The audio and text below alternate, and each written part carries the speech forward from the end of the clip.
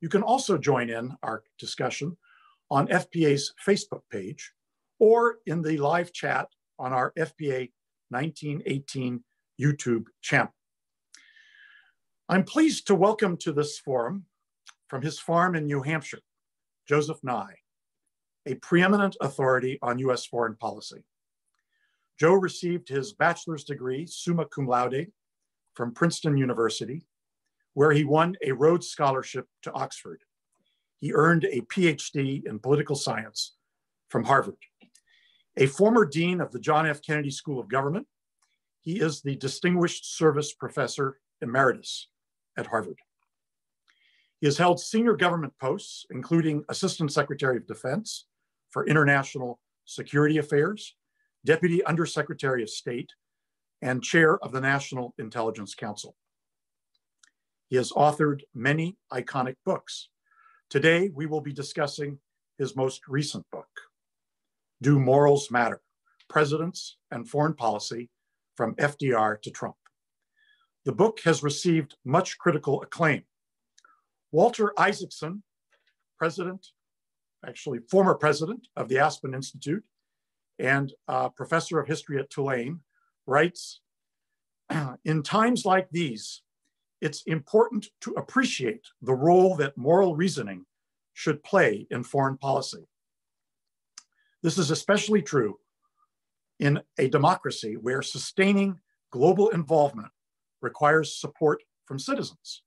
Joe Nye is one of our foremost and engaging analysts of American diplomacy. And in this book, he provides a clear eyed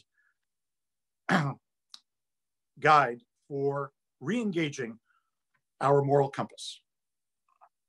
David Gergen, CNN senior political analyst and founding director of the Center for Public Leadership at Harvard, states with characteristic insight and precision, Joseph Nye raises tough questions of how much ethics should shape a nation's foreign policy.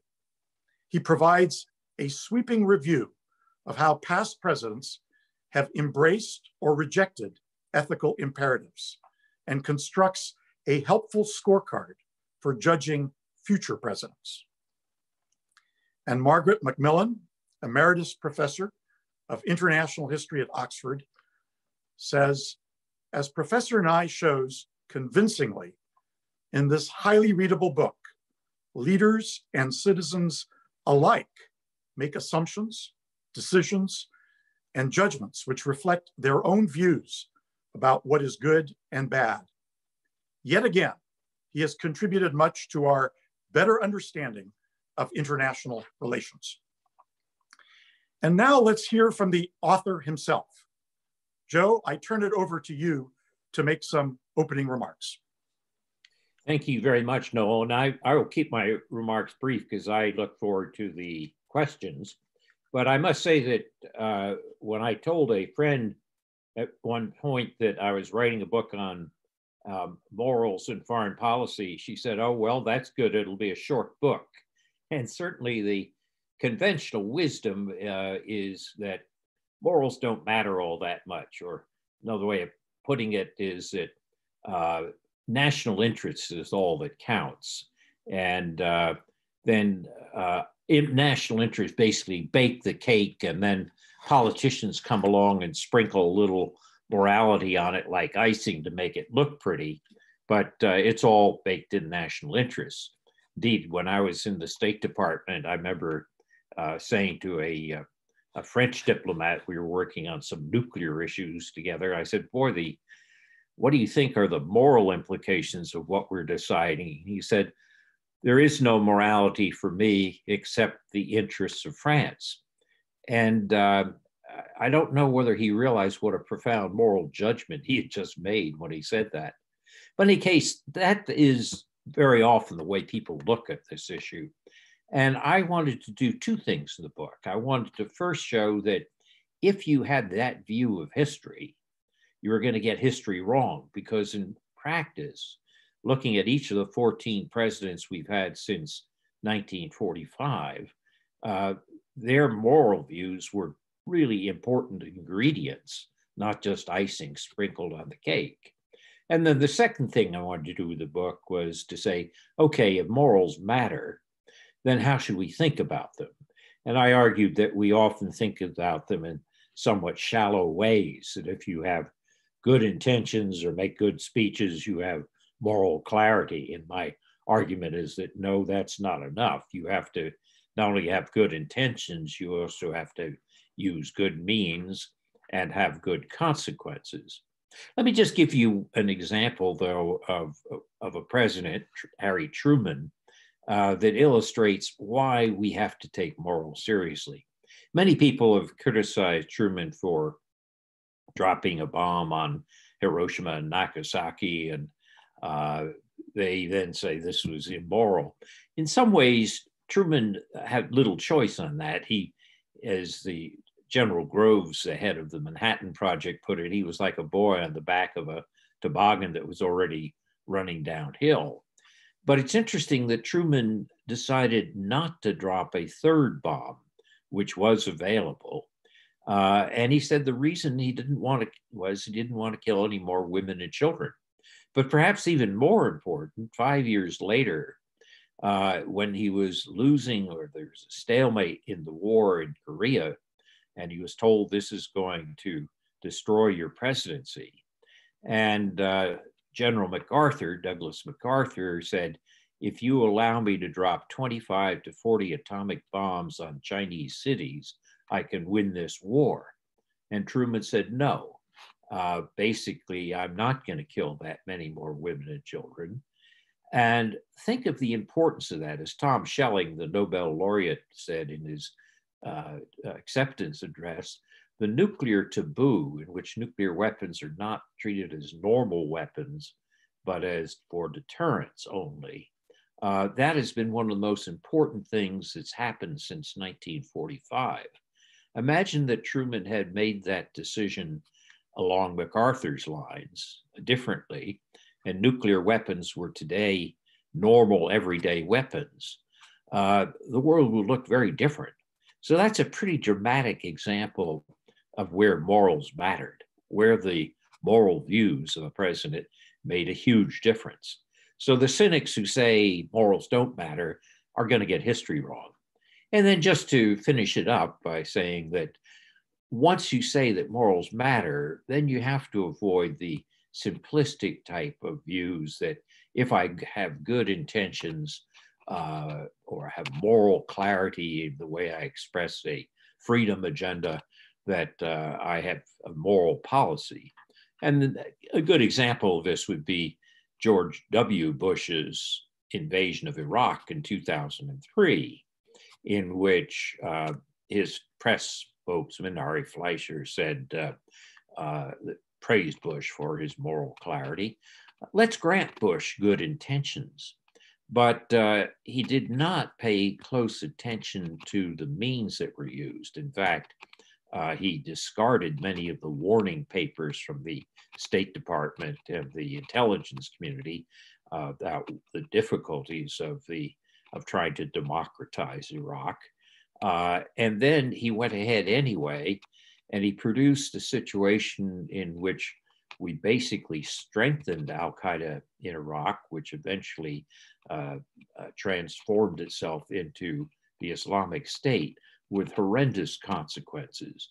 Uh, if this were a legal matter, we would say that Bush failed to do due diligence about the means, and he was guilty of culpable negligence for not looking carefully enough into the potential unintended consequences. So let's grant him good intentions, but what I argue in the book is a moral foreign policy has to look at all three dimensions of motives, means, and consequences, and then try to make a balanced judgment uh, before you try to say whether it's a moral or immoral policy.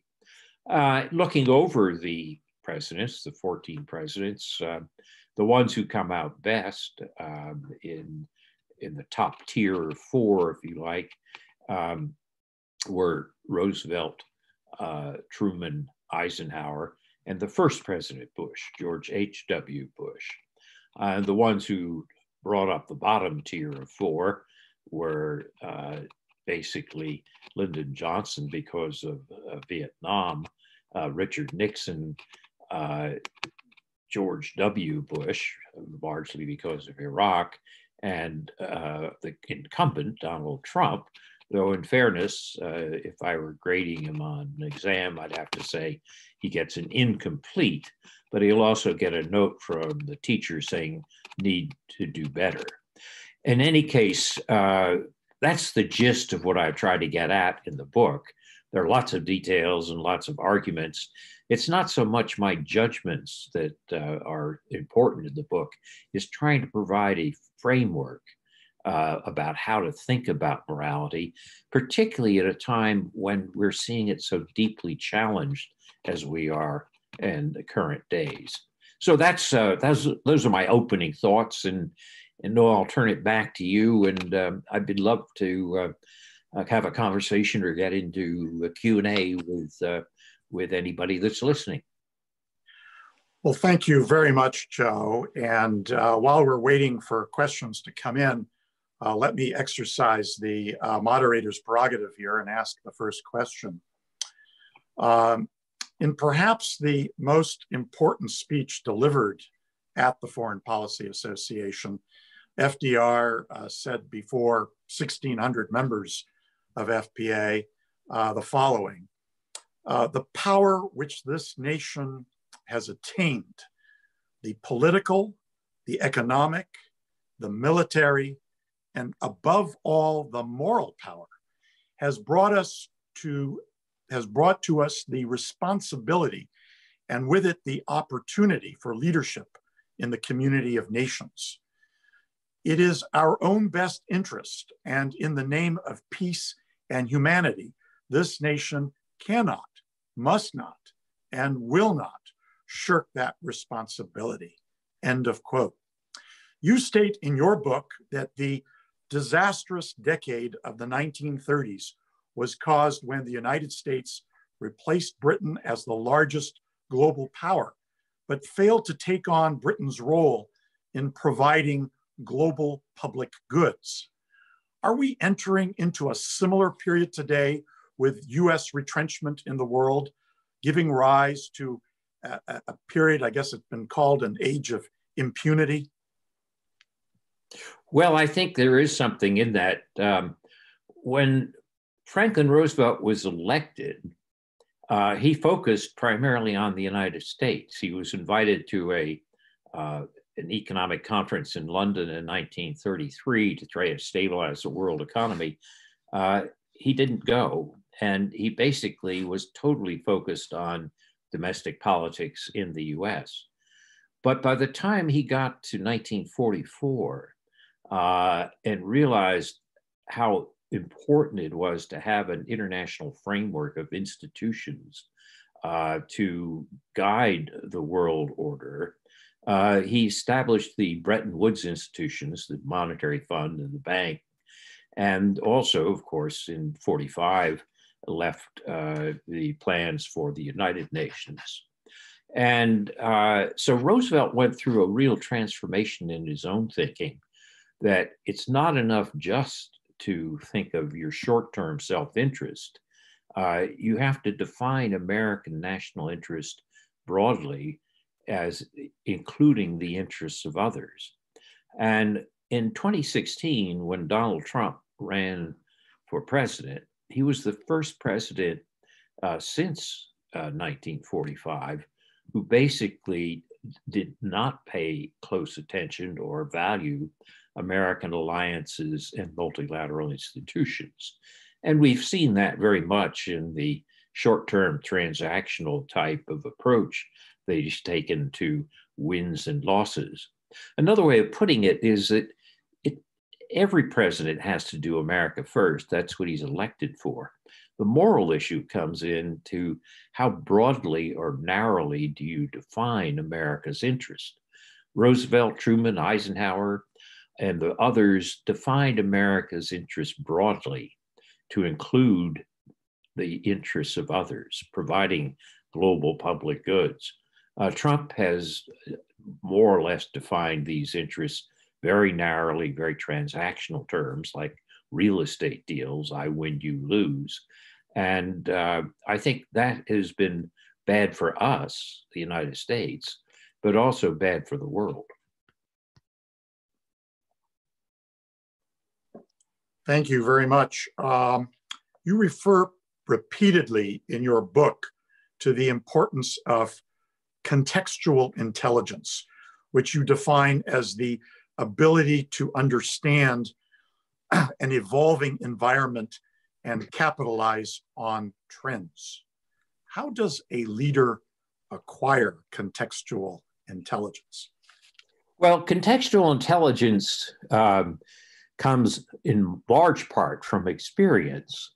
Uh, for example, the first President Bush, uh, George H.W. Bush, uh, not only served in World War II, but he also occupied a whole series of positions from the uh, in, in, the Congress, in the uh, as an envoy to China, ambassador to the UN, head of the CIA.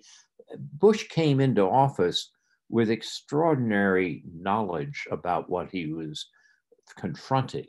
Similarly, Dwight Eisenhower had extraordinary contextual intelligence from his experience in World War II.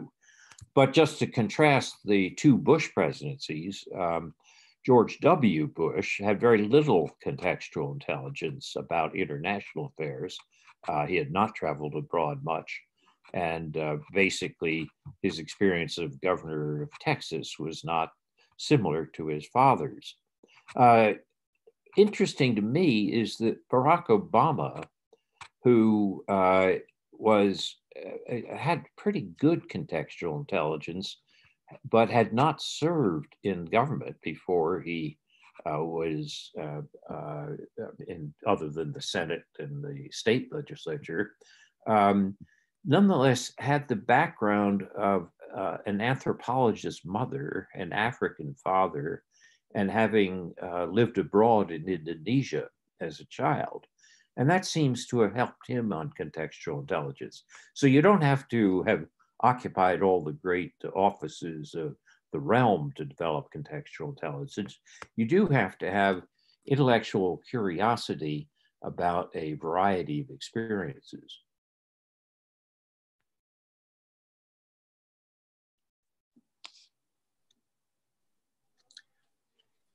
I'd like to come back to um, nuclear weapons.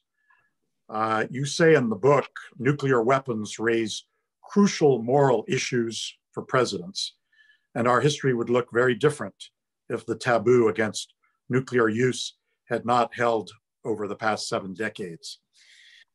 how does how does character um, intersect with with uh, this awesome uh, weapon, and and how should we as the electorate uh, judge uh, presidential candidates uh, when it comes to nuclear weapons? Well, I think we definitely want a president who is mature, does not engage in braggadocio about weapons, who understands their uh, potential uh, catastrophic effects if, if used, uh, but also realizes that they are important for deterrence. Um, the American nuclear um, umbrella is important from deterring China from uh, uh, basically uh, bullying Japan or from Russia from invading uh, the Baltic states and Eastern Europe. So nuclear weapons uh, are there, they're important, but they have to be handled with extreme care. Uh, you see this incidentally in Dwight Eisenhower, uh, who uh, knew a lot about the military and a lot about weapons. And at a period when the Americans had clear nuclear superiority, uh, the Joint Chiefs of Staff came to him and said, um, What about using them to save the French at Dien Bien Phu in, in Indochina? And Eisenhower said, You boys must be crazy to want to use these against Asians again in 10 years. Or later, uh, the Joint Chiefs came to him and said, Maybe we should have preemptive against uh, the Soviet Union before they become too strong. And Eisenhower's comment was, you know, think about it. After you've destroyed most of the world between Moscow and Vladivostok, what are you going to have in that smoking ruin? What, who is going to manage it? Who's going to control it? And what are you going to think about after you try to resurrect this place? So Eisenhower had, even though he often talked tough about nuclear weapons for deterrence purposes, uh, he had pretty good common sense and uh, very good character when it came to practical recommendations that were made to him by the military for their actual use.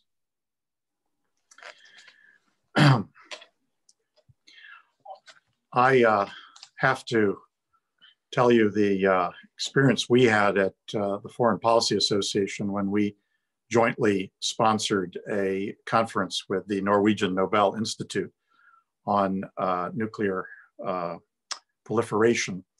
And uh, we had left the last panel for of young academics for last, thinking they would end the conference on a hopeful note.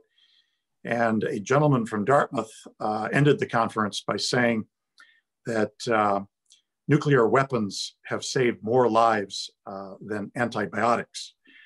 Um, I was flabbergasted, but uh, I'm just wondering how you feel about any possibility of um, eradication, uh, eradic eradication of um, nuclear weapons and whether the efforts that uh, President Obama made uh, could ever uh, be resurrected uh, and uh, at attain fruition.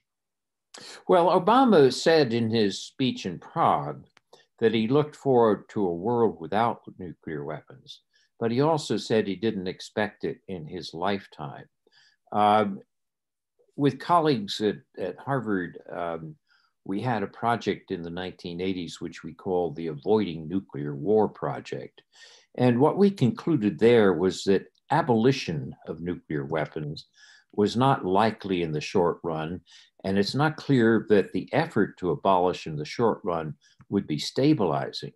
But what we said was you can get away from the prospect of nuclear use, even if you can uh, not get rid of nuclear weapons entirely. So uh, the what we said, it's better to have your nuclear weapons well away from the front lines, uh, well away from the hair trigger or short-term alerts, and to engage in international frameworks such as arms control negotiations or the Non-Proliferation Treaty, which make it less likely that they're going to be used. So the solution, I think, is to aim in a long run to a world where nuclear weapons have less importance. But uh, until we get to a world where it will be stabilizing, uh, we should not have illusions that just calling for abolition is going to make us all safer. And that's one of the hard uh, moral choices that a president faces about nuclear weapons. Uh, we should be trying to reduce their role, and I think that's what Obama was trying to do. But uh, too rapid an effort to reduce them, if it led to greater instability, could actually raise the probabilities of nuclear use. And after all, it's not the nuclear weapon, it's the nuclear use, which is the greatest evil. I uh, enjoyed very much your um, uh, chapter on foreign policy and future choices. And uh, in it, you refer to uh, institutions. Uh, you say institutions help to lengthen the shadow of the future that encourages reciprocity and cooperation. Um, how do you, what what is your um, appraisal for the future of uh, the United Nations and the uh, current set of international institutions? Well, I think the institutions we have are crucial, uh, but I also think they're going to need uh, improvement. Um, but I don't see how we get along without them. Uh, what institutions do is allow you to see international politics uh, in the metaphor that George Shultz, Reagan's Secretary of State, used as gardening rather than real estate bargaining. And uh, Shultz pointed out that you play this for the long run. You plant seeds, you hoe, you weed, you trim, but you realize that you're going to be working with people again and again and again. And in that bargaining context where you're going to be uh, engaged over and over, reciprocity becomes more and more important. And institutions provide that framework for reciprocity. So the UN framework uh, is important, uh, but it's far from perfect. We're going to have to supplement that by uh, informal network organizations uh, additions. Take the current problems that we're having with the pandemic and the role of the World Health Organization. The World Health Organization is far from perfect, but it's also true that we have starved it uh, for funds and we've starved it for authority. And rather than withdraw our support, uh, as President Trump is now threatening, we should be thinking about how we strengthen it. Uh, how can you improve it? Uh, it can blame the uh, WHO for the current crisis uh, is badly mistaken. And if this crisis is like the 1918 pandemic, uh, flu pandemic, in which it came in various waves, and the second wave in 1918 killed more people than the first wave, we may be facing future waves of coronavirus and we're going to need to work with China and with other countries to not only understand better uh, what happens in the early stages of a new wave, mutations, and understanding the genetics of it, we're also going to need to find better ways to provide the equipment, uh, the type of uh, uh aid to, that we need for medical workers, as well as trying to work together to develop vaccines. These are all things which uh, we should be working on, not engaging in a, uh, a propaganda war about who is more at fault. Uh, frankly, the leadership of both China and the US played this very badly and still are. Uh, it would be nice to imagine something like a uh, a Harry Truman type gesture in which uh, we saw the need for a Marshall Plan for a COVID fund to help poor countries to cope. Because right now, these poor countries are not coping. And if they then become a reservoir for this virus, which then overflows northward uh, on a seasonal basis, uh, it's going to be very bad for us. So you might think that in the same way in that you had uh, far-sighted presidents in the period after 45 who said things like the Marshall Plan is in our interests, even though it transferred 2% of our gross domestic product, but it's also in Europe's interest. It can be win-win. We can benefit from it and they can benefit from it. Uh, imagine that you had the leadership today which said, we've got to make sure we help some of these poor countries deal with this. And uh, uh, otherwise, it's not uh, going to, it's good for us. It's good for us if they're better at it. It's good for them if they're better at it. It's what I call learning that there's power with others as well as power over others. I'm interested that Henry Kissinger, in his recent article in the Wall Street Journal about the effects of the pandemic called for leadership of providing something like a Marshall Plan for the world to deal with this. Unfortunately, I don't see any of this in Washington. All I see is um, uh, competitive propaganda wars. And frankly, that's going to hurt us all in the long run.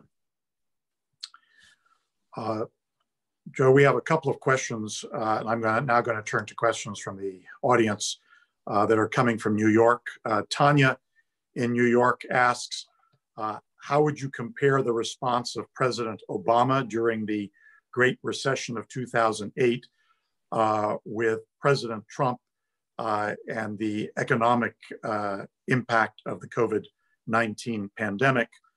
And also on COVID 19, uh, Philip in New York asks uh, Will COVID 19 promote greater cooperation among nations in the future, or will it lead to an acceleration of deglobalization?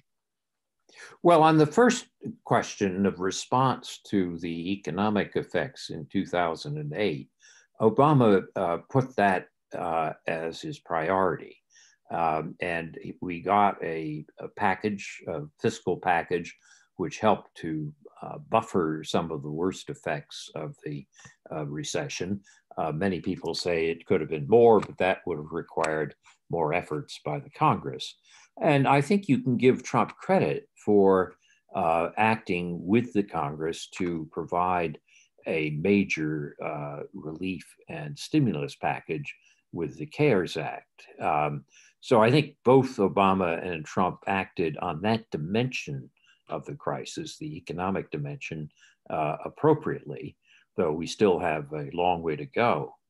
Uh, what I haven't seen, though, uh, is a, a response from the Trump administration internationally, which would answer the second question. You would think, wouldn't you, that since a virus couldn't care less what is the nationality of the human it kills, that the humans might say, maybe we should get together and work together against the virus. Unfortunately, that's not the way it's worked out. Uh, imagine that you said, or you had a leader who said, like a Roosevelt or a Truman, we're going to have to not spend so much time uh, slanging match with the Chinese over who did what to whom, but invite China, Europe, Japan, and the other group of 20 countries to set up an international COVID plan to try to help poor countries so that they don't become a reservoir of for rounds two and rounds three of the pandemic. Uh, and we will join with others in the leadership of something like that. Uh, that one would think would be far-sighted leadership, which would be in our national interest and other national interests as well. Alas, we haven't seen that. We have uh, two questions that overlap. Uh, Anna from St. Petersburg, Russia asks, how relevant is the question of ethics and moral behavior in other states' foreign policy, policies? And uh, Cole in New York City asks, if amoral players on the world stage continue to gain on and potentially surpass moral players, at some point, is one not forced to re examine the utility of ethics in foreign policy? Yes, I think uh, uh, both those questions are, are appropriate. Um, if you're locked in a situation where the other player in the game uh, is totally amoral or immoral, it's very hard not to uh, respond in a similar way. If you're playing the game uh, with a Hitler as your opponent, uh, as Churchill had to play the game in 1940, 41, uh, then you perhaps do what Churchill did, which was to bomb civilians in cities in Germany. Uh, that was an immoral action, uh, but it was perhaps justified by the existence of another actor, Hitler, who would not take morals seriously. So, in that sense, uh, I think it does matter who the other players are. On the other hand, remember, you can have deep differences ideologically and morally with another player and still find it useful to create institutions which limit the conflict. Uh, that type of conflict with a Hitler is sometimes called a prisoner's dilemma situation. a zero sum game in which one uh, side loses, the other side gains. Robert Axelrod, the political scientist at the University of Michigan, did a study in the 1980s, a computer tournament, saying, what's the best strategy if you're locked in a prisoner's dilemma situation? And uh, what he found was that if you only play the game once, then it's basically cheat on the other guy or forget the moral aspects. But if you're going to play the game again and again and again, you quickly discover that the best strategy for both of you is reciprocity, or what he called tit for tat. You cheat, I'll cheat. You cooperate, I'll cooperate. You cheat, I'll cheat again. You cooperate, I'll cooperate. And eventually, both of us find that cooperation maximizes our gains over time. To apply that to a real world situation, um, during the Cold War, the United States and the Soviet Union had deep ideological differences, but they were able to cooperate on arms control and to avoid nuclear war. And in light of the current circumstances related to uh, uh, the pandemics, it's interesting that the United States and the Soviet Union cooperated with the WHO and within the UN framework to wipe out smallpox. Um, and um, uh, so you can get cooperation even when you have partners who have very different moral view than you have. Uh, we have a question from Charles in Connecticut. He asks, uh, which president had the most moral foreign policy in terms of consequences? Well, uh, I think it's hard. It's a hard call, but let me give the credit to uh, George H.W. Bush, Bush 41, as we sometimes call him. Uh, Bush 41 uh, had an extraordinary opportunity at the end of the Cold War to uh, essentially gloat and to lord it over uh, Gorbachev and the Soviet Union. And indeed, there are members of his own party and commentators like William Safire of the New York Times, who criticized Bush for, for not uh, celebrating more the fall of the Berlin Wall. Bush's comment or reply was, I'm not going to dance on the wall. I have to negotiate with Gorbachev to end this situation, and I'm not going to embarrass him. So Bush had the emotional intelligence and maturity to realize that to get a peaceful outcome of the end of the Cold War was going to require an understanding of the other person's point of view and limitation of your own temptation to gloat. And when you look at the consequences, you had the end of the Cold War when the two countries could have blown each other up along with the rest of the world. The Cold War ended peacefully, and it ended peacefully uh, with basically uh, a united Germany, wasn't at the expense of the Germans. And uh, a lot of the credit goes to Gorbachev, but a lot of the credit goes to Bush and his uh, contextual intelligence and emotional intelligence. Uh, because if we had not passed that test in that stormy time, the world would again look very, very different. So I, I give high grades to George H.W. Bush. we have a question from Harris in uh, the United Kingdom. He asks, what role should international organizations such as the United Nations be playing in order to promote morality in the world of foreign policy? Well, I think international institutions can make it more possible to take a, a view which includes reciprocity. In other words, if the institutions are working well, then you can take issues out of the context of I win, you lose, and put them in a broader context of we all gain. Let me give the example of uh, climate change, which I think is going to be a major problem for all of us and a great moral issue for the next uh, uh, decade or more, the next president, certainly. Um, in, in 2009, the US and China were at loggerheads on climate change. And uh, the Copenhagen meeting of parties to uh, of the UN on climate change uh, was pretty much a failure.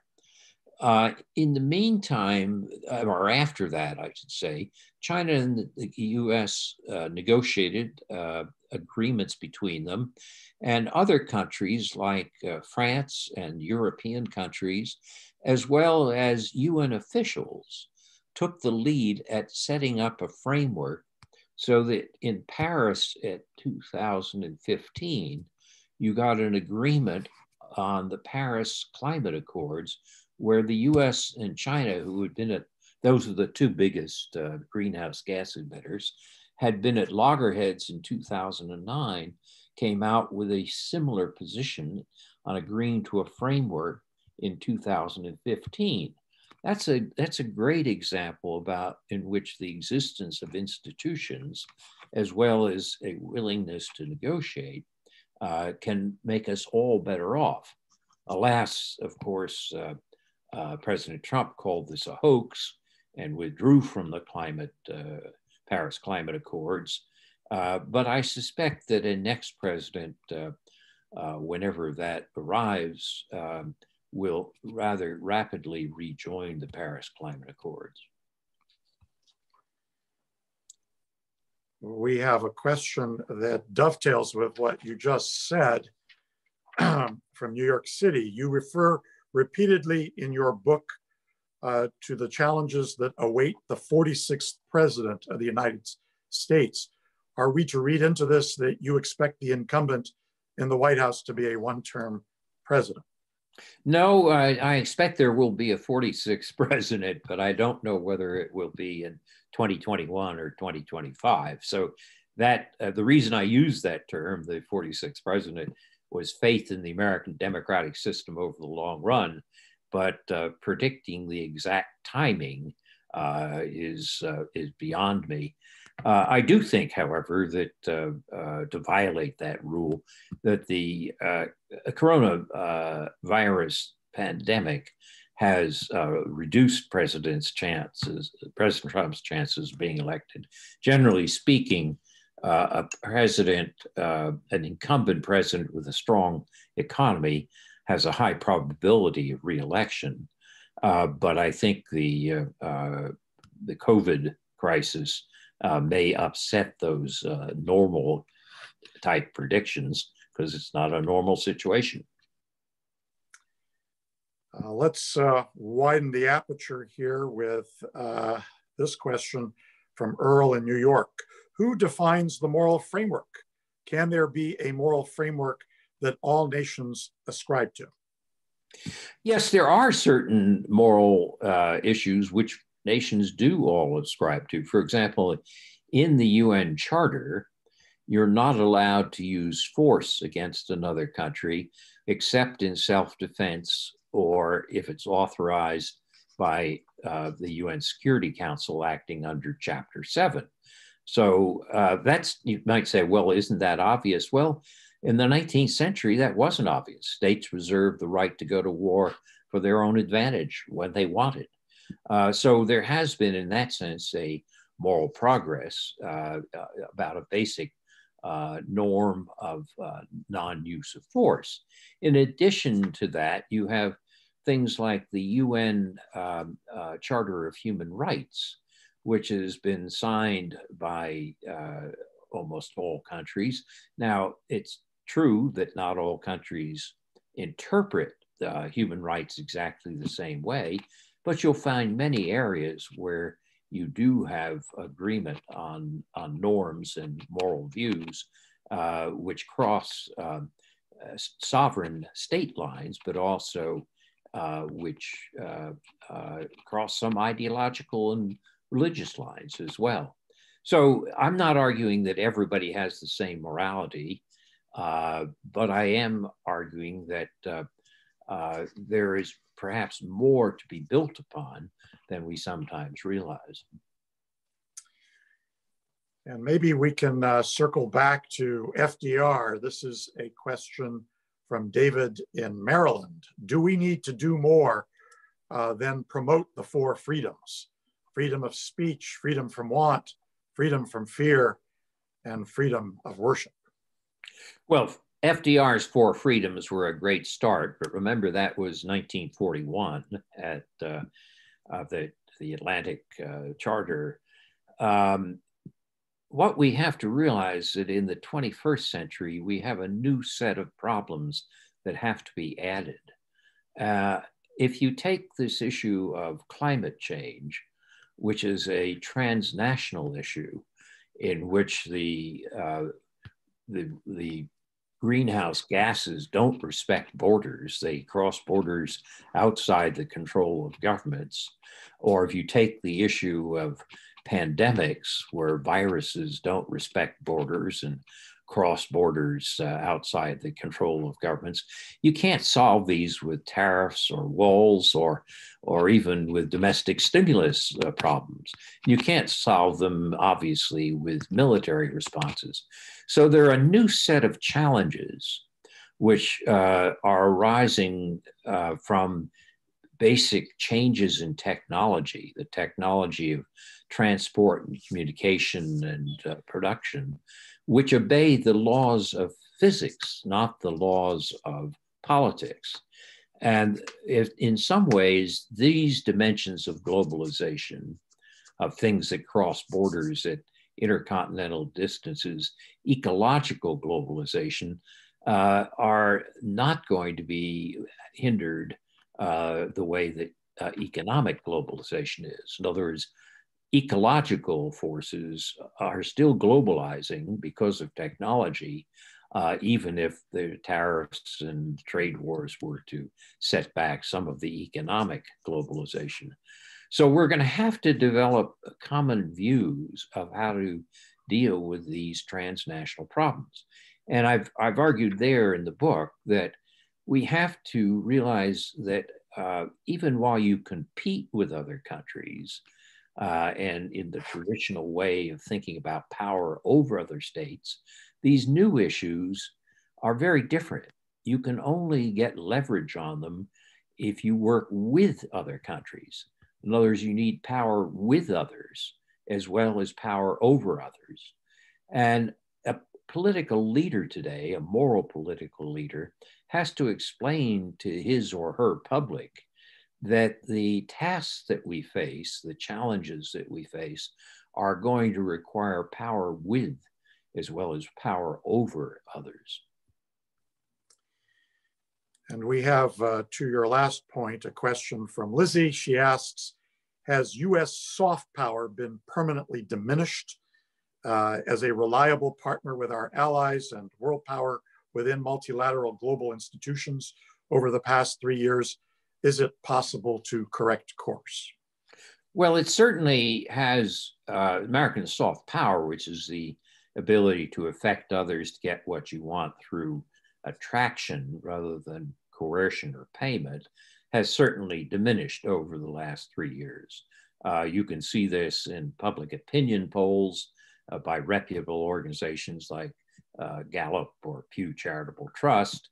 Uh, you can also see it in the index of soft power, which is called the Soft Power 30. It's published in um, London every year.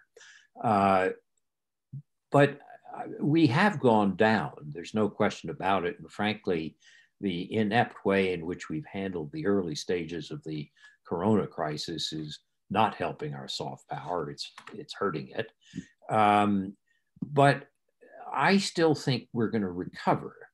And the reason is that a large amount of American soft power, or any country's soft power, comes not from the government, but from the civil society, from, uh, in the American case, from Hollywood or universities or the Bill and Melinda Gates Foundation and so forth. Uh, and in that sense, I think those institutions remain strong and attractive. Um, people still may complain about the United States, but want to go to uh, a university in the United States or to read American literature or to watch an American film.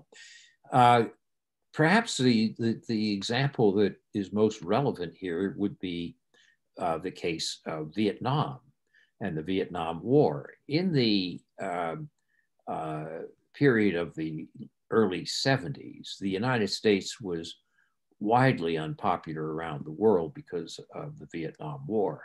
Uh, people were marching in the streets around the world, uh, criticizing and protesting the American government policies. But you know what's interesting is the protesters were not singing the Communist Internationale. They were singing Martin Luther King's We Shall Overcome. In other words, an anthem from American civil society was being used to criticize the American government. And that's part of the source of American soft power and the strength of the United States, which is, well, the government often does uh, dumb things and has inept policies, the society is, is susceptible to self correction, to self criticism and self correction. And uh, I think that will turn out to be true uh, after the current uh, downswing that we've seen in American soft power. And then we have the question uh, from Tony democracy seems to be declining around the world.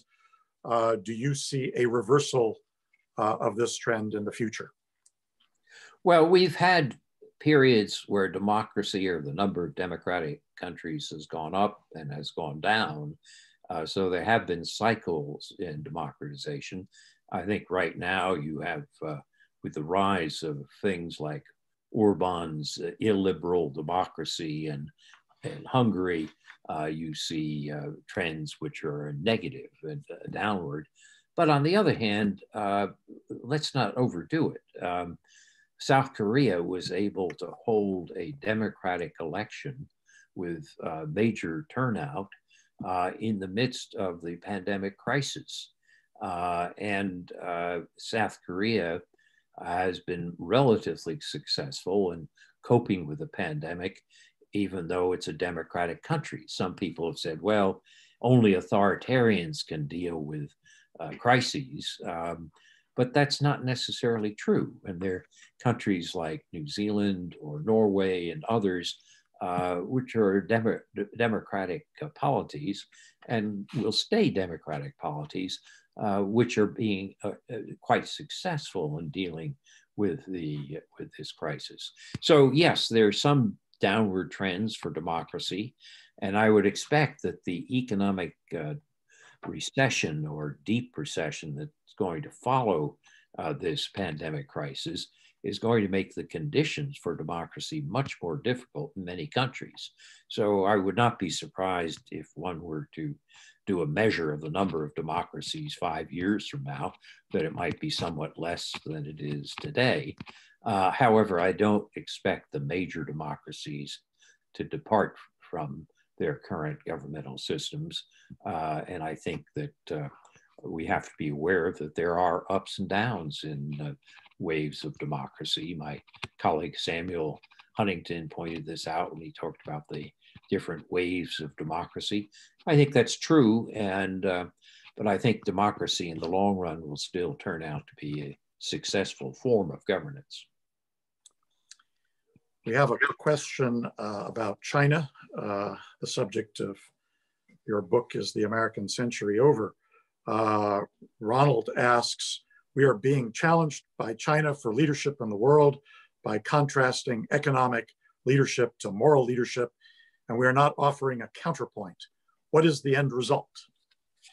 Well, there are some people who believe that uh, China is overtaking the United States, and indeed, they argue that the corona crisis is going to be the tipping point in which uh, China passes the US.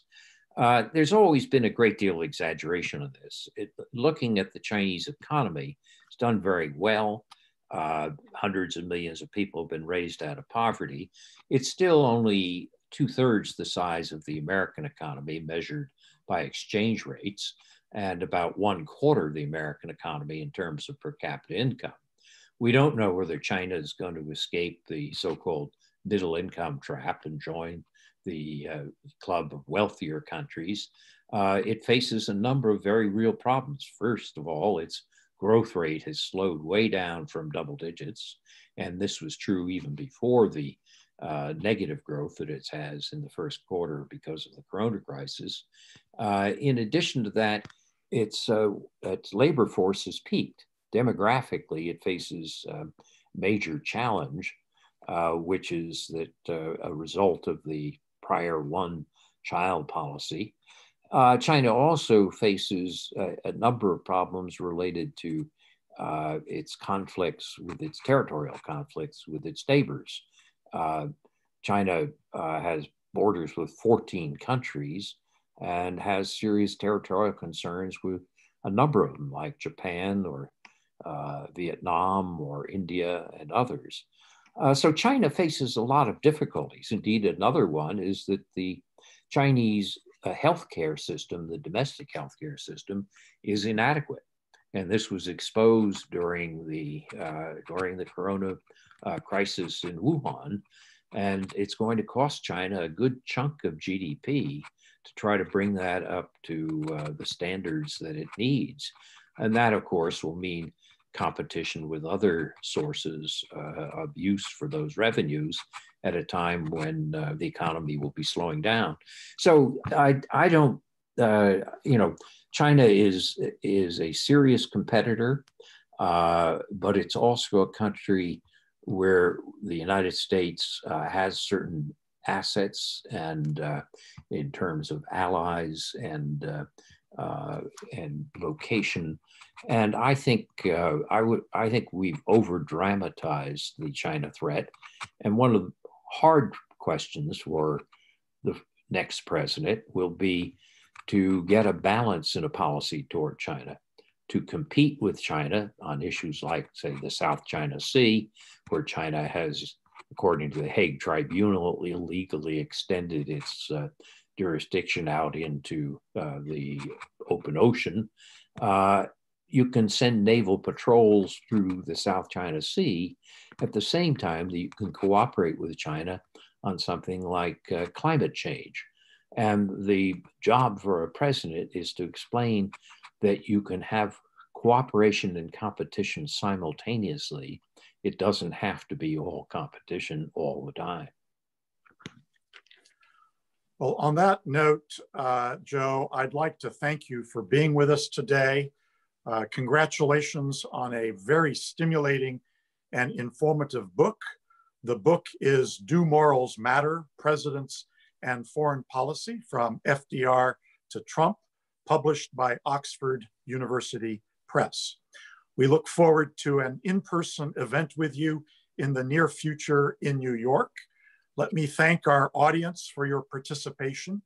Until our next edition of FPA Live, this is Noel Lateef signing off with our motto at FPA. An informed public is an engaged public. Stay safe and take care. Thank you, Noel.